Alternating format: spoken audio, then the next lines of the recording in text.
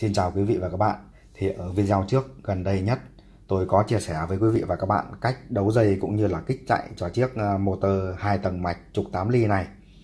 Sau khi chia sẻ xong thì có một số quý vị cũng như là một số anh em nói rằng đây là chiếc motor 21W huyền thoại được rất nhiều anh em yêu thích dùng để chế quạt tích điện.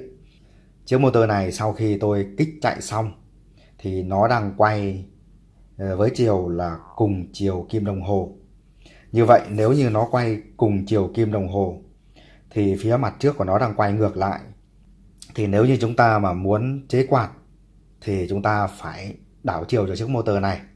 Và cũng có một vị khán giả, đó chính là anh Hùng, đã chia sẻ với tôi cách đảo chiều chiếc motor này. Thì ngay bây giờ tôi sẽ thử đảo chiều chiếc motor này xem nó như thế nào. Thì mời quý vị cùng theo dõi.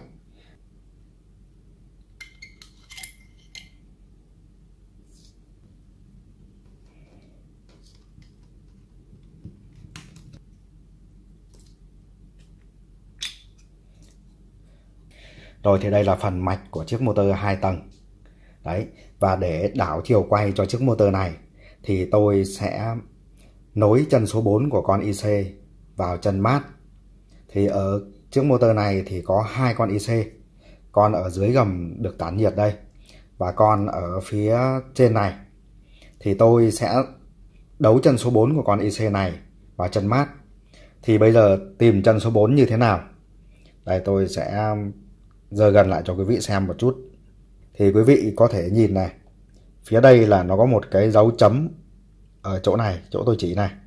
Và phía dưới này nó có một cái khuyết ờ, hình tròn màu trắng. Thì chúng ta sẽ đếm từ trái qua phải.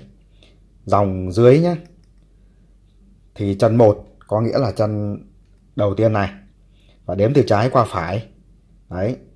À, bây giờ tôi sẽ đếm này. 1, 2, 3, 4 thì từ cái chân 4 này tôi sẽ câu cái chân số 4 này vào chân mát của cái mạch này thì nó sẽ đảo chiều. Tuy nhiên rằng là tôi đã dò ra được cái dấu chấm thiếc này nó nối với chân số 4 đây quý vị có thể đếm cũng được. Và tôi đã đo được rồi. Thì tôi lát nữa tôi sẽ câu trực tiếp cái dấu chấm này luôn. À, tuy nhiên thì tôi sẽ không câu trực tiếp vào mát, mà tôi sẽ câu ra một cái dây để lát nữa tôi à, kiểm tra thử cho quý vị nhìn, thì nó sẽ thuyết phục hơn. Rồi, thì bây giờ tôi sẽ đo và hàn dây vào. Đây, tôi sẽ hàn cái dây nhỏ này vào cái dấu chấm.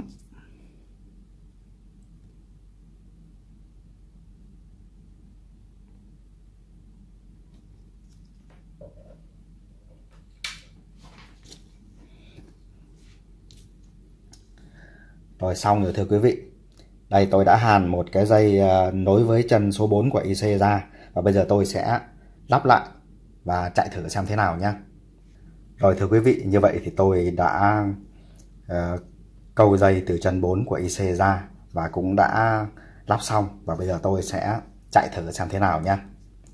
Vâng thì trước khi kiểm tra xem là đảo chiều motor có hiệu quả hay không thì tạm thời tôi chưa gắn cái dây mà câu từ chân 4 của IC này vào chân mát vội và tôi sẽ kiểm tra xem là chiều hiện tại của motor là đang quay theo chiều nào thì tôi sẽ cấp nguồn Đấy.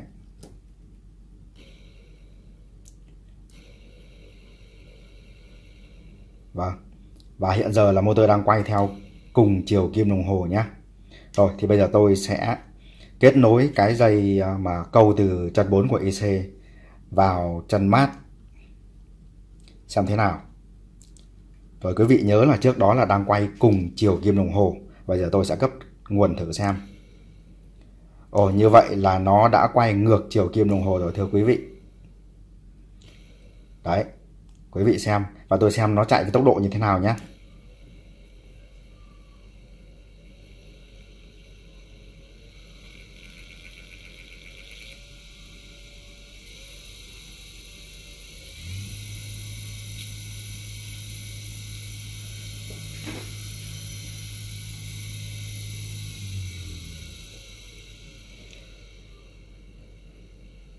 Vâng, như vậy là sau khi mà câu dây đảo chiều cho motor này thì tốc độ của nó cũng không hề thay đổi.